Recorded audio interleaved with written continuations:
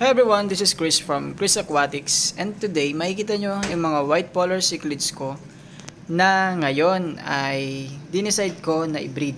So makikita nyo na mga white polar cichlids ko na to is fully grown na sila, meaning sila yung mga breeders na. So I already know kung ano yung mga pair dyan kasi importante na malaman ninyo yung gender ng white polar ninyo at malaman ninyo kung sino na yung magkakapares kasi kung hindi sila magkakapares dahil ay sila ay mag-aaway lang at magpapatayan lang. So, ito yung gagawin nating setup para sa kanilang breeding. So, ito yung sinetup kong breeding project. Dito ay bumili ako ng limang 5 gallon tank. Bumili din ako ng divider para dito. Ibig sabihin, bawat isang 5 gallon ay hahatiin ko sa gitna. So, mangyayari niyan is 2.5 gallon ang bawat hati. So, sa tatlong 5 gallon na to, makakabuo ko ng anim na anim na hati at makakapag-breed tayo dito ng anim na pares ng white polar cichlids. So, sa setup na to guys, ay naglagay din ako ng pinaka DIY cave. So, yung DIY cave na to guys is gawa lang sa patukaan ng manok which is a clay pot sa halagang 15 pesos. Mabibili niyan sa mga poultry supply. Hinati ko lang yan using a um, lagaring bakal. So, yan, para maganda siya tignan at perpekto yung pagkakahati. Also, bumili din ako ng pebbles sa aqua, aquarium store o sa fish store. Yung pebbles na to is 30 pesos or 40 pesos yata per kilo. So, bumili ako ng 2 kilos, sumapat naman siya sa hindi naman kailangan ng sobrang kapal ng substrate kasi hindi naman tayo magtatanim dito. Ang importante lang dito guys is merong babahayan ng beneficial bacteria. Yung uh, mayroong babahayan ng beneficial bacteria. Okay, so ngayon, itong tank na to guys ay isa-cycle ko within at least one week. So, kung fresh start, manggagaling sa tap water, siguro tatagal tayo ng at least 2 weeks pero dahil ang uh, gagawin ko dito para ma-boost agad yung beneficial bacteria kukuha ko dun sa tubig ng aking 35 gallon aquarium saka ko ilalagay dito saka ko lang dadagdagan ng tubig para meron ng beneficial bacteria at hindi na tatagal ng sobrang tagal yung pagsacycle natin ng tubig. A few moments later. Okay guys, so habang sinacycle ko yung tubig, gumawa din ako ng DIY na LED light. So, ito ay 1, 2, 3, 4, 5 pirasong module na 12 volts LED light. Ito ay motorcycle LED lights. Mabibili nyo lang sa halagang 12 pesos sa mga um, shop ng mga motor, mga motor parts, motorcycle parts. So, ginamitan ko rin to ng 12 volts adapter. Nabibili nyo lang din yun sa Shopee sa halagang 50 pesos. So, ayan, search search lang kayo ng 12 volts adapter. 1 amp or 2 amps. So makikita nyo guys, naglagay din ako ng halaman. Yung halaman na to guys ay hindi nakatanim sa substrate, kundi nakabalot lang yan ng fiber o ng cloth sa kanang bato para lang siya lumubog, para lang siya magstay sa place niya. Nilagay ko to para makontrol yung ammonia kasi uh, malaking tulong ang halaman sa pagkontrol ng ammonia para hindi magkaroon ng ammonia spike. Especially, we are doing a breeding here so dapat ready tayo sa magiging health ng mga magiging fry ng mga ating mga white polar cichlids o ng mga isdang ibibreed natin sa setup na ginawa natin. One week later. So guys, nilagay ko na nga etong pares-pares ng aking mga white polar cichlids. So ngayon guys, um, since hindi pa proven lahat to, hindi ko masasabi na lahat to ay mag egg Kaya ngayon, obserbahan natin. Okay, so obserbahan natin sila, no? Dahil ang iba dyan magiging agresibo at nagkakakitaan sila. So, ang isa sa mali ko dito guys, na sana kung gagawin nyo to, tularan nyo to, ay wag ninyong gagawin, ay dapat yung divider ng bawat 5 gallons ninyo ay hindi transparent. Ang purpose nun para hindi nagkakakitaan yung magkakapares, para hindi nila isipin na threat yung isang pares sa kanila kasi alam nyo, very aggressive ang mga cichlids pagdating sa breeding iniisip nila na pag may nakikita silang ibang cichlids ay kakainin yung eggs nila o kaya naman kakainin yung magiging fry nila. So, importante na mas maganda may privacy sila hanggat maaari sila magpares lang nakikita. So, yun ang gawin ninyo. Pero, in my case, wala na akong magagawa dahil nakalagay na to. At um, hindi naman rimless yung aking aquarium. So wala akong choice kundi hayaan muna to at obserbahan sila kung magsasucess ba sa kabila ng nakakakitaan sila. At yun nga, wag sana maging kosto ng stress sa kanila. I also forgot to mention na bawat isang 5 gallon tank dito guys ay nilagyan ko ng foam filter. Yan, at least isang foam filter para lang nag-agitate yung tubig. A few moments later. After a while guys, mga ilang araw lang, actually kinabukasan nga lang or 2 days after ko ilagay yung mga pares, may mga breeders na rito na nag-egg na. So nakikita nyo naman, may egg na yan sa loob nitong pot.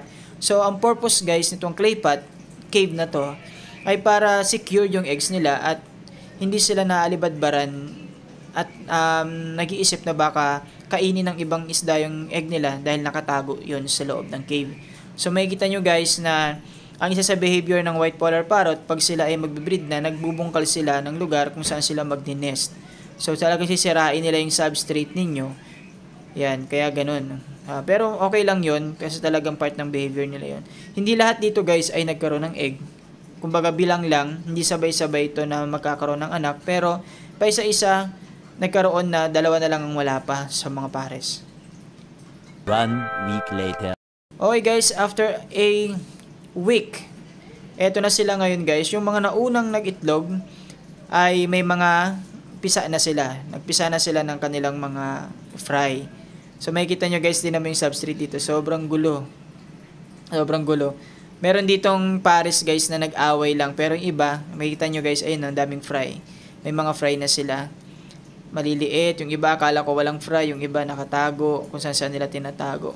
So, pag, nakit, pag hindi nyo mapansin yung fry agad-agad, wag nyo munang isipin na walang fry. Yung iba dyan, nakalaglag lang parang mukhang substrate. Pero actually, may fry na yan. Antayin nyo pa ng ilang weeks o one week hanggang yung fry nyo is mag-free swim para makita ninyo na buhay pala yung lahat ng fry na na pininudos ng inyong white polar cichlids. Actually, ang white polar cichlids guys ay very good parents. Hindi man sila basta-basta kumakain ng fry nila. Basta, hindi sila napoprovoke. Yes, kaya nga tinan nyo guys, gaya ng sinabi ko sa inyo, importante na yung inyong mga white polar ay hindi sana nagkakakitaan. Lagyan nyo ng harang para hindi sila nai-stress. One week later. Okay guys, so after another week, may kita nyo guys, so it's about 2 weeks yata since nag, um, nag-hatch yung mga fry. May kita nyo, lumalangoy na yung mga fry natin. So, free swim na sila. So, it's about, I think, uh, one week mahigit, pero wala pang 2 weeks. May kita nyo naman na yung mga fry natin ay free swim pa lang, pero meron pa rin silang egg sac. So, huwag kayong mag-alala dahil hindi pa rin yan magugutom. Uh, kahit hindi nyo, hindi nyo pa sila dyan pakainin. So, makikita nyo guys na free swim na yung ating mga mga fry. Pero makikita nyo na yung parents dyan, pag natitreat sila is kina, um, sinusubo nila o nilulu, parang pinapasok nila sa bibig nila yung mga fry tapos ilalagay nila dyan sa loob ng nest o dyan sa loob ng, ng cave o clay pot. Um, huwag kayong magtaka, hindi yung kinakain guys, no? Pero tingnan nyo rin at obserbahan kasi may, may minsan may mga time din na pag stress na yung parents, uh, talagang kinakain na nila yung anak nila para lang uh, hindi nila hindi masayang kumbaga kaysa naman makain ng iba sila na yung kumakain no pero yun nga kaya importante guys na hindi talaga nagkakakitaan yung pares para hindi kayo mangangamba na may stress o ma-stress yung inyong mga white polar cichlids. So these are proven pairs na and I also posted these pairs to the um, social media sa group ng mga mangis, mang, mangisda mga hobbyist dahil I um, I sell this fish to them. So, yan, luckily may mga buyers na to. At yung iba dito ay nabili na rin dahil once na mag-free swim na ang inyong mga fry, wala hindi nga na problema na na hindi na problema na buhayin sila. Mapakadali na yung buhayin, guys. Basta meron kayong BBS kahit decapsulated o meron kayong powdered na powdered na pagkain, uh, buhay na buhay na yung mga mga fry na yan. So, pwede nyo nang ihiwala yan sa mga magulang nila kung nangangamba kayo na baka kainin sila. Pero alam nyo, mas mabilis ang paglaki ng fry at survival rate nito kung kasama nila yung parents nila. That is based on my experience sa sa pag uh, bibreed nitong mga mga cichlids na to. A few moments later. Okay guys, so ito na yung update sa ating breeding. So marami sa mga pairs ko ay nabenta ko na, na-sold na. So iilan na lang yung natitira dito. Nagtira na lang ako ng mga pairs ko na magiging personal breeder ko para sa mga para hindi tayo maubusan syempre. So makikita nyo guys, tinanggal ko na yung divider nitong isang 5 gallons at yung mga fry nung dalawang pares doon ay nagsanib na, nagsama na. So yun yung kagandahan guys ng ganitong setup. Many months later. Uy guys, so after almost a month and um, a week, mahigit isang buwan, ito na yung mga fry natin from our setup. So actually, yung mga fry na nakikita nyo ngayon guys, dito is fr- only from D2 pairs. Galing lang to sa dalawang pares ng uh, white polar ko kasi the rest of the fry na nandi dito ay hindi nakakasya kasi magiging masikip sila. So I decided to separate them dun sa outdoor setup ko. So, nandun na sila nakabukod at lumalaki na rin sila ngayon. Pero nagtira ako ng naririto para maobserbahan ko at makita ko sila kung gaano ka sila kabilis lumaki. So, ito, parang isang buwan lang to mahigit. Ito na sila, malalaki na, may itsura na sila at kitang-kita mo na malulusog itong mga white polar cichlids na to. So that's it guys. I can conclude na very very very successful itong ating breeding project. And yung success rate ng um ato dito survival rate ng mga fry natin is almost 100%. Halos wala akong nakitang namatay sa mga fry na to guys. Halos kung ano yung pisa, yun din yung uh, lumaking mga fry ngayon. Pero sabi ko nga sa inyo, kung gusto nyo gawin yung proyekto na to, ay make sure guys na yung gagamitin yung maghahati sa mga aquarium na gagamitin ninyo is tinted para hindi nagkakakitaan. O gawan nyo ng paraan na hindi magkakitaan yung mga pares ng inyong mga white polar cichlids para sure na sure talaga na mas magiging maganda yung resulta ng gagawin ninyong breeding project. So that's it for this video. Sana may natutunan kayo, nakakuha kayo ng mga puntos kung paano nyo gagawin yung gagawin yung mga breeding project ng yung white polar cichlids. At sana makapagparami din kayo ng white polar cichlids. So kung saan makakabili ng mga breeders nito, pwede kayong mag-search sa buy and sell ng mga uh, sa mga group ng mga fish keepers din dyan. Uh, sa ngayon kasi wala na akong available na pares dahil nasold na rin lahat. Pero soon, pag lumaki na to at nagkaroon tayo ng mga panibagong breeders, abang-abangan nyo lang dahil magpapag-giveaway ako, mamimigay ako sa inyo guys ng mga isda na magiging pasimula ninyo para sa inyong magiging mga breeding project. So, that's it. Salamat sa inyong panonood. Please don't forget to like, subscribe, hit the notification bell update para maging updated kayo lagi sa mga videos na i-upload ko dito sa channel natin, Chris Aquatics. So, salamat. Peace out. Bye-bye. God bless.